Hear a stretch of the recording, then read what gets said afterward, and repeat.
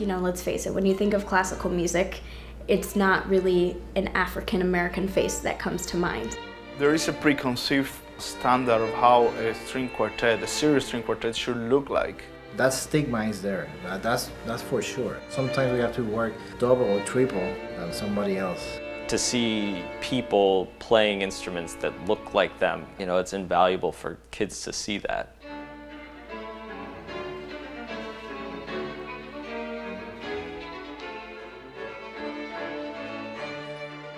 The Harlem Quartet is a string quartet that promotes diversity in classical music.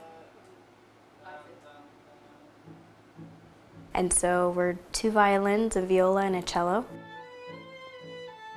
Diversity in classical music is a very positive ideal because for so many years in this country, that ideal was a homogenous thought. By bringing in different cultural values, viewpoints, they are bringing an American ideal of melting pot to the stage. When we started, we were an all black and Latino group.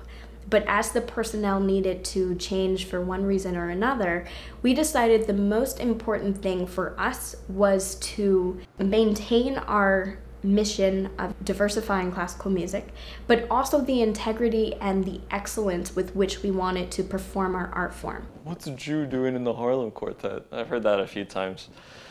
And, uh, you know, I never really quite know what to say. It's a really strange question, but you know, we all share a mission together, and that's what matters. We're a diverse group, and we all come from very different backgrounds.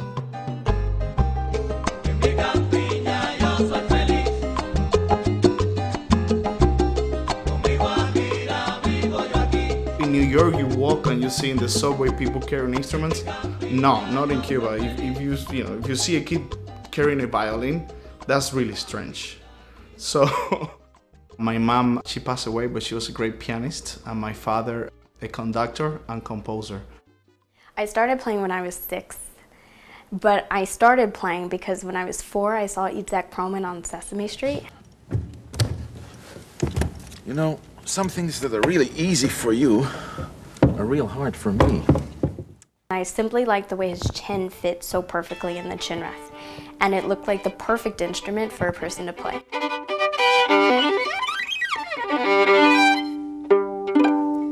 Melissa and I have a weirdly similar story that we both were watching Sesame Street. I saw Yo Yo Ma playing. Yo, yo, yo, mama, man! So I begged my parents for a cello.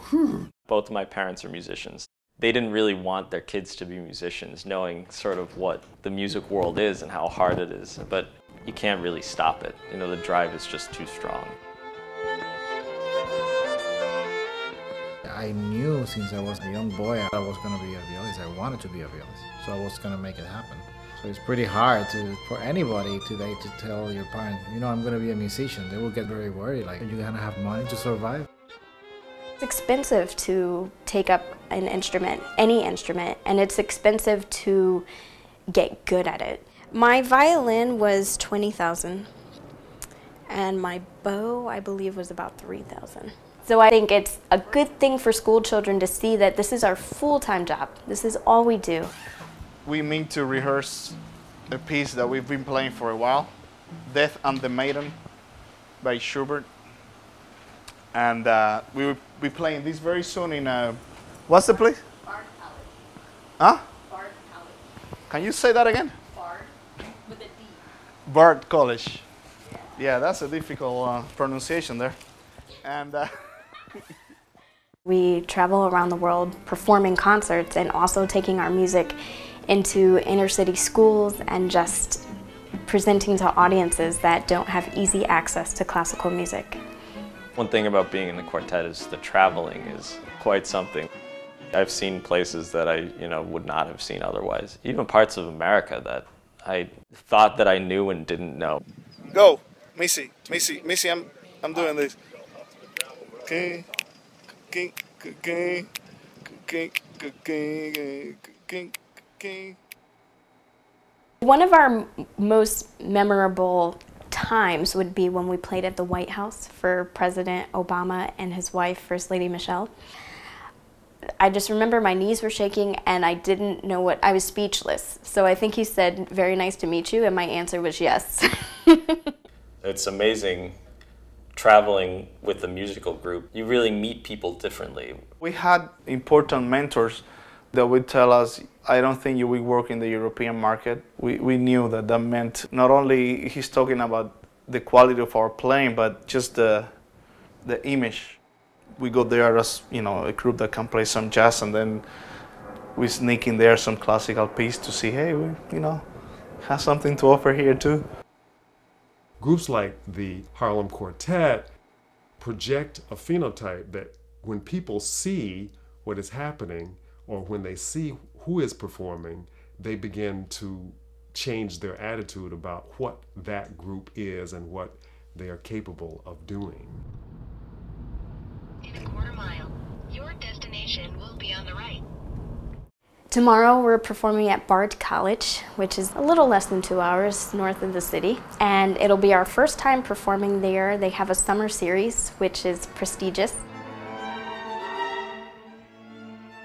The future of classical music lies in the idea of inclusion, and that is including everyone in the overall pastiche of what we call European art music.